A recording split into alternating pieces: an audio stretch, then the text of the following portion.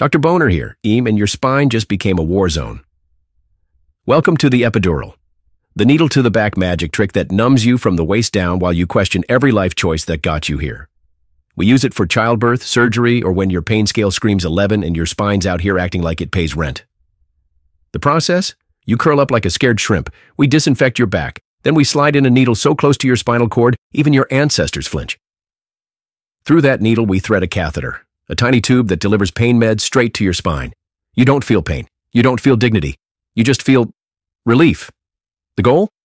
Block nerve signals so your lower half goes on a coffee break while we slice, pull, or extract whatever's causing the drama. And no, it doesn't paralyze you, unless you're dumb enough to move mid-procedure. Then yeah, good luck, champ. Side effects?